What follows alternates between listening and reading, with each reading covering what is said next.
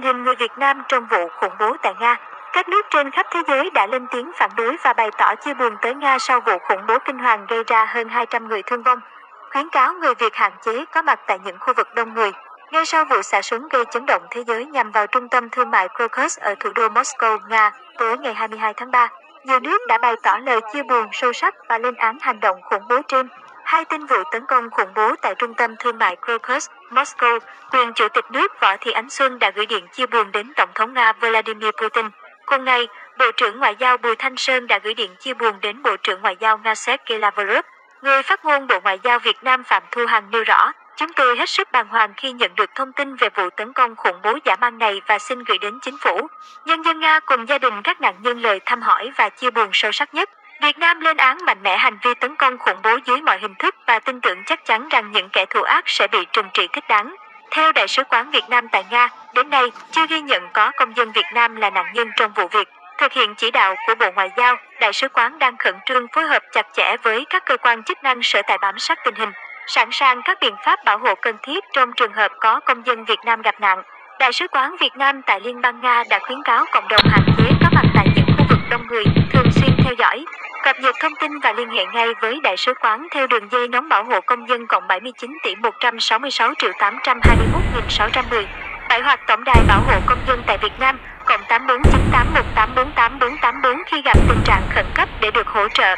Thế giới bàng hoàng lên án vụ tấn công. Tại châu Âu, trong một tuyên bố, ông Peter Stano, người phát ngôn Liên minh châu Âu EU, cho biết EU bị sốc và bàng hoàng trước vụ tấn công khủng bố tại thủ đô của Nga, đồng thời lên án bất cứ cuộc tấn công nào nhằm vào dân thường. Tại cuộc họp báo ở Nhà Trắng, người phát ngôn Hội đồng An ninh Quốc gia John Kirby thay mặt chính phủ Mỹ bày tỏ lời chia buồn tới các nạn nhân của vụ xả súng kinh hoàng. Ông nói thêm, Washington đang thu thập manh mối và nhắc lại cảnh báo an ninh từ Đại sứ quán Mỹ ở Moscow hôm mùng 7 tháng 3. Dự báo có thể xảy ra cuộc tấn công bởi các phần tử cực đoan.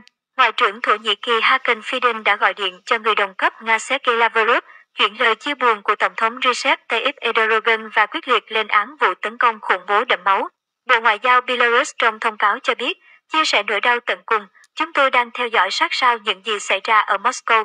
Chúng tôi sát cánh cùng nhân dân Nga anh em trong những thời khắc khó khăn này đồng thời tin rằng tất cả những kẻ dính dáng tới, tội ác sẽ phải nhận hình phạt thích đáng. Một số nước Ả Rập bao gồm Ai Cập, Qatar và Iran cũng đã lên tiếng phản đối gay gắt mọi hành động bạo lực và khủng bố bất kể mọi lý do. Trong đó, Bộ Ngoại giao Ai Cập nhấn mạnh nước này muốn bày tỏ tinh thần đoàn kết tuyệt đối với Liên bang Nga qua sự việc này. Các quốc gia châu Mỹ như Cuba, Venezuela, Bolivia và Nicaragua cũng bày tỏ lời chia buồn sâu sắc và thể hiện tình đoàn kết với nhân dân Nga, lên án bạo lực khủng bố và cầu mong những điều tốt đẹp nhất dành cho các nạn nhân. Nga cũng nhận được lời chia buồn từ các nước vùng Cáp Cát như Armenia, Azerbaijan, cũng như các đồng minh trong Tổ chức Hiệp ước An ninh Tập thể CSTO như Kazakhstan, Uzbekistan. Trong đó, Tổng thống Kazakhstan Kassym-Jomart đã đề nghị lực lượng chức năng trong nước sẵn sàng trợ giúp nước bạn.